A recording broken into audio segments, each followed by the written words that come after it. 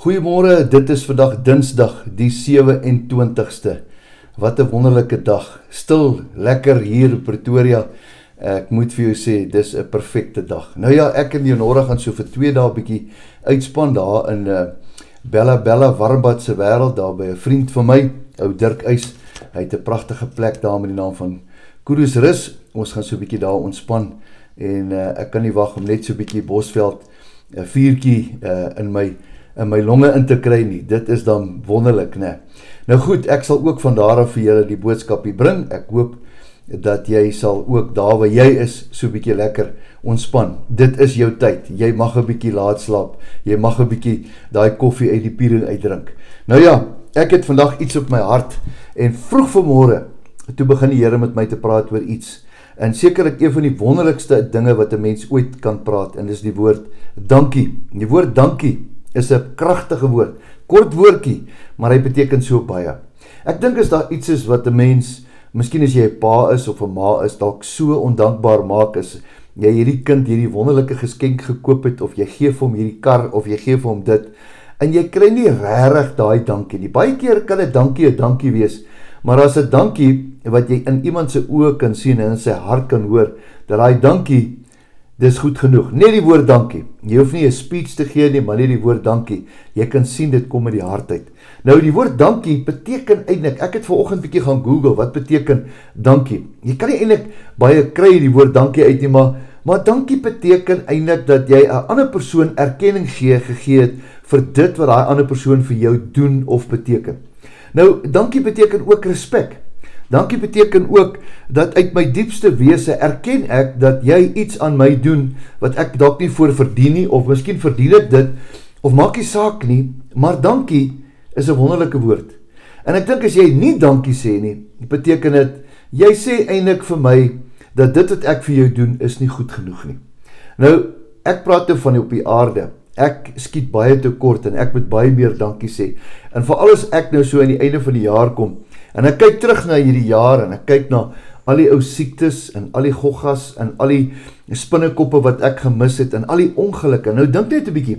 Ek wonder hoeveel kilometers het ek en jy hierdie jaar gery.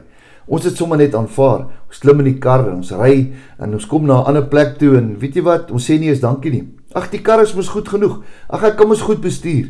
Ag ek weet mos ek is in beheer. Wat van as 'n ou net vandag dankie sê vir elke kilometer vir elke rit wat die Here vir my en vir jou bewaar het. Dankie vir vir vir kieme. Jy weet daar's baie mense wat hierdie jaar dood gegaan het en hulle het COVID gekry of hulle dalk 'n kiem gekry wat ek en jy nie gekry het. En daar's baie mense wat in hospitale lê en hulle is dalk baie sterker as ons. Miskien het ons dalk net eers langs die pad het iets gebeur. Daar's baie slange wat dalk op pad na my en jou toe was terwyl jy in die bos geloop het en hulle het nooit by jou uitgekom nie want die engele het hulle so 'n bietjie weggeskuif, né? Daar's baie goed wat ek en jy voor dankbaar moet wees. Ag man, ek praat nie net van siektes nie.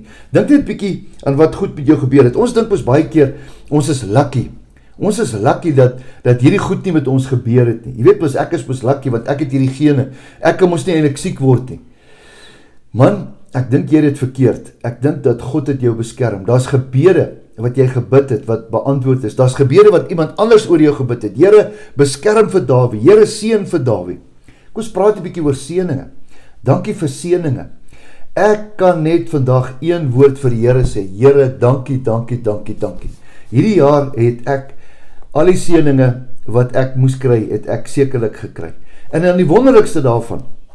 Ek is dankbaar dat ek vir die Here kan werk, dat ek golfstokkies kan verkoop. Ek het twee passies in my lewe en ek kan al twee. En die Here het my gespaar tot en met vandag toe. Daarom kan ek dankie sê. Dankie vir my kinders. Dankie vir my kinders se gesondheid, vir my vrou, vir mense wat vir my lief is, vir mense wat vir my omgee, vir mense soos julle wat in ons lewens insaai. As dit nie daarvoor was nie, kon ons dit nie gemaak het nie. Ons het 'n buitengewone werk. Ons werk vir die Here elke dag.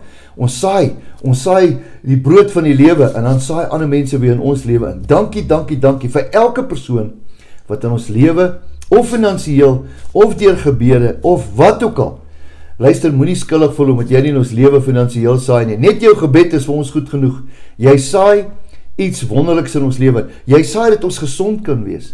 Jy saai dat ons kan kan praat. Ek bedoel, daar was tye hierdie jaar wat ek baie baie siek was. Daar was 'n tyd dat ek gedink het dis my einde. Regtig? Julle weet dit nie, vra vir Leonore. Ek het gesit langs my bed. Ek kon nie my hand optel nie. My spiere was so aangetast. Ek weet nie wat was fout nie. Hier staan ek vandag by the grace of God. Ek sê dankie. Dankie vir die Here, vir hom eerstens. Dankie vir jou wat vir my gebid het. Dankie vir die Here wat voorsien het. Dankie, dankie, dankie. Nou, ek wil 'n skrif vir jou gee voor hierdie dag verbygaan om dankie te sê vir die Here. Hoor 'n bietjie wat sê Filippense 4. Hy sê die volgende. Hy sê wees oor niks besorg nie. Kom ons stop gou daar. Wees oor niks. Wat beteken niks? 0, 0. Wees oor niks. Ja, maar Dawie, waar gaan ek dit kry? Weet jy wat die Here tog altyd voorsien? Ou Martin sê, as die Here jou gaan drop, gaan dit die eerste keer wees. Hy gaan jou nie drop nie baie van die goed wat ek en jy dalk is waar ons is, is gevolg ons eie keuses, deur swak besluite. Nou hoor 'n bietjie. Wees oor niks besorg nie. Zero. Maar laat julle begeertes, julle begeertes, ek het 'n paar het hulle neergeskryf. Hierdie jaar wil ek 'n paar jaar wat kom, is daar's 'n paar goed wat ek graag wil begeer en ek gaan hard probeer en ek gaan die Here vra om my te help. Laat julle begeertes in alles deur gebed. Kom ons bid daarvoor. Kom ons bid vir ons gebede, vir ons begeertes. En smekinge, smekinge, Here, ek gaan aanhou, Here, ek gaan aanhou, Here, ek smeek by U. Here, daai kind, Here, daai finansies, Here, daai huis, Here, daai kar, Here, daai deurbraak, Here, daai gesondheid, Here. Smekinge met danksegging. Wat beteken dankie? Dankie beteken ek sê dankie vir goed wat ek nog nie het nie. Wat beteken dit? Dis geloof. Geloof en aksie beteken, Here, ek wil U dankie sê vir dit wat u in 23 vir my gaan doen en ek het dit nog nie eens gesien nie. Wat sê dit? Here, ek het geloof dat u Here sal voorsien. U gaan voorsien, Here. U is my God, u is my bron, u is my alles. Dankie sê alles. Ek wil vandag dankie sê. Dankie vir die Here vir 'n hele jaar wat verby is. Dankie dat hy voorsien het. Dankie dat hy my koning is. Dankie dat hy my redder is. Dankie dat hy tot op die laaste dag sal hy vir my voorsien. Ek wil dit vir jou bid. Kom ons sê baie meer dankie. Dankie vir 'n nuwe dag. Dankie vir asemhaling. Dankie vir kinders. Dankie vir 'n kinderlaggie. Dankie vir Dankie vir kos, dankie vir klere. Dankie. Dankie vir die Here. Dis maar wat ek wil sê vandag is dankie. Kom ons sê dankie vandag. Here, dankie. Dankie Here. Ek kan nie baie meer sê as dankie nie. Here, U lees my hart. Voordat ek bid, weet U al wat ek wil sê. Ek wil net sê dankie Here. Amen. Mag jy 'n wonderlike dag van dankie om vir die Here dankie te sê vir dit wat verby is, vir dit wat is en vir dit wat nog steeds kom. Mag jy altyd ervaar dat die Here jou liefhet en dat jy weet dat jou beste lê nog verseker voor. Totsiens tot 'n volgende keer.